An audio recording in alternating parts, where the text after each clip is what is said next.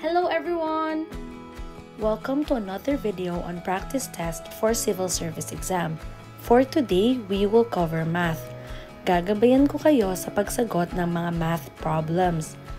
Nakuha ko ito from an online mock test and part 3 na ito ng ating videos covering that mock test. Isa-isahin nating sagutan ang mga questions.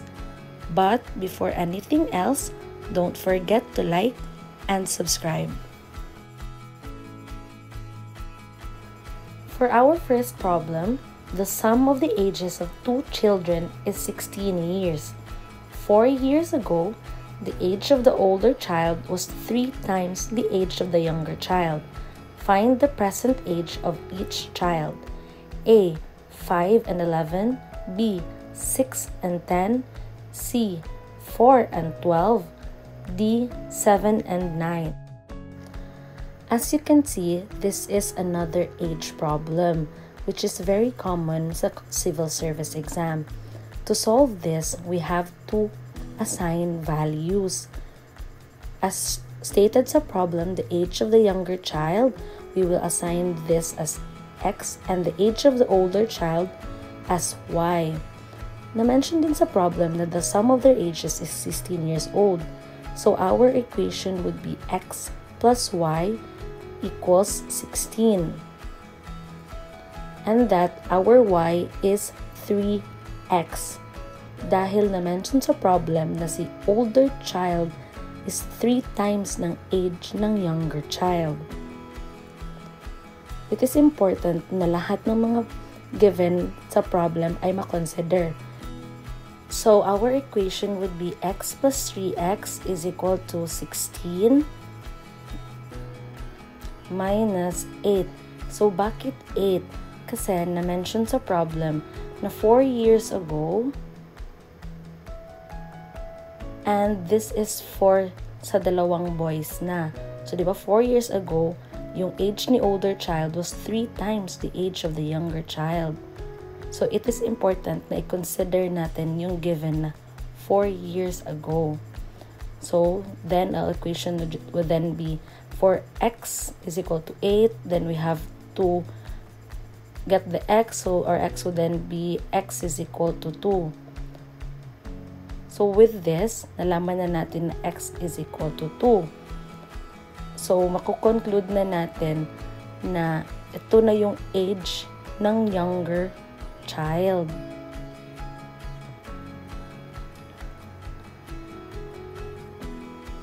So then 3x for the older child, that would be 3 times 2 is 6. But we also have to remember that this age, both these ages are their ages 4 years ago. So we have to consider this. So yung magiging age natin na ang hinahanap kasi is present age. So, we can conclude na yung age now ng dalawang bata would be yung younger is 2 plus 4 which is 6 and then yung older child would be 6 plus 4 which is 10. So yung sagot natin for this question is their ages are 6 and 10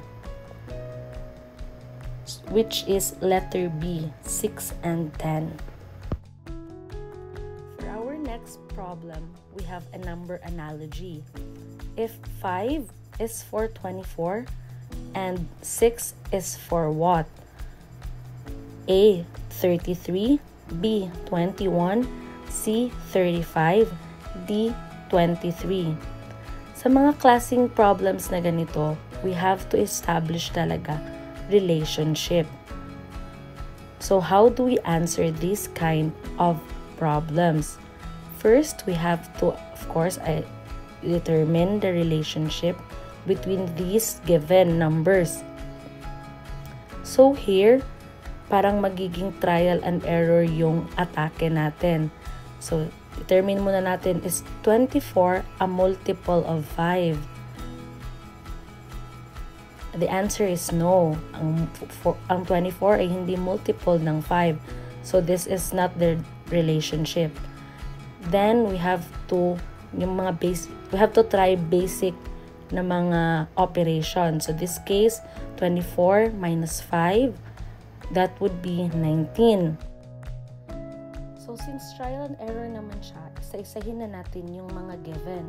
So, we have here 33 minus 6 is 27. Then 21 minus 6 is 15. Then 35 minus 6 is 29. And then 23 minus 6 is 17. Based sa result ng ating trial and error, makikita talaga natin dito yung iba't ibang relationship kung meron man ng each item with our given. So, as you can see, 29 here has the closest relationship to 19. Therefore, we can now conclude na yung answer natin would be if 5 is to 24, then 6 is for 35. And that would be letter C, 35. For our third problem, we have here, what is the sum of all the numbers from 1 to 10? A. 54 B. 55 C. 56 D. 57 Kung titingnan mo ito, parang magiging madali lang talaga if imano-mano natin siya. But, sometimes, hindi ganito kasimple yung magiging problem. Sometimes, bibigyan tayo ng problems na what is the sum of all numbers from 1 to 100. So this time, we have to remember the formula na lang para whatever number naman yung given, ma-answer talaga natin siya. So again, yung problem naman natin is what is the sum of all numbers from 1 to 10. So this is just from 1 to 10. So yung magiging formula natin would be sum is equal to n times n plus 1 over 2. So, madali lang tandaan yung ating formula. So, n would be the number count which is 10 kasi 1 to 10 siya. So, there are 10 numbers from 1 to 10.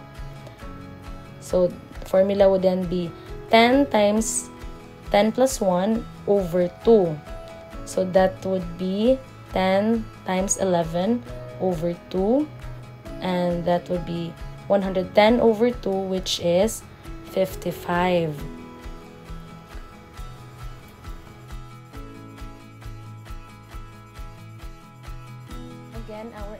For this is letter B, 55.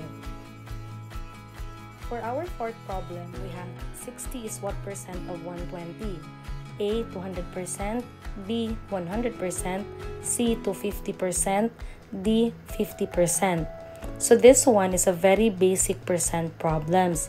I will put the link in the description box below for our videos on the basic operations of percent. So for this case naman, sasagutan na natin ito. Whenever nakaka-encounter tayo ng problems na yung pagka-state is blank is what percent of blank or a number is what percent of a number, yung magiging operation talaga natin would be division or yung tinatawag natin na divide. So in this case, yung magiging equation natin would be 60 divided by 120 or 60 over 120. So, paano ba ito din ni-divide? So, here. So, we have here 60 divided by 120. So, basic operation lang. Since hindi naman, mas maliit naman yung yung 60 kaysa 120. So, 0 muna. Then, bring down the 60 and the 0. And 600 divided by 120 is 5. So, yung sagot natin dito would be 0.5. Kaso, hindi naman 0.5 pa yung final answer since we have to convert this to percent because this is not yet in percent form. So, 0.5, i-convert natin, which is a decimal, i-convert natin siya into a percent. And for this case, we have 0.5 times 100, which is 50. 100 tandaan na ang percent meaning per 100. And to convert a decimal to a percent, just have to multiply it by 100. Or may ibang way din tayo, simpler way, na hindi na natin kailangan ng operations. So this is just by moving the decimal places to places to the right. So yung fifth, yung 0.5 natin magiging 50 na siya.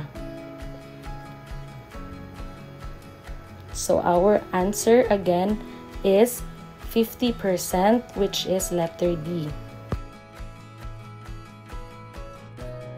The fifth problem, we have to simplify this equation. Simplify meaning sasagutan yung equation or hahanapin yung hinahanap ng equation. So we have your 2 raised to the power of 2 minus negative 2 raised to the power of 2 then raised to the power of 0. So, letter A, 8, B, 4, C, 2, D, 1. So, sa mga ganitong equation, medyo intimidating talaga. So, ganitong mga problems talaga are meant to be very tricky and very intimidating. Pero, tandaan natin na whenever nakaka-encounter tayo ng mga problems na ito, we should not be intimidated kasi these problems are just meant to confuse us.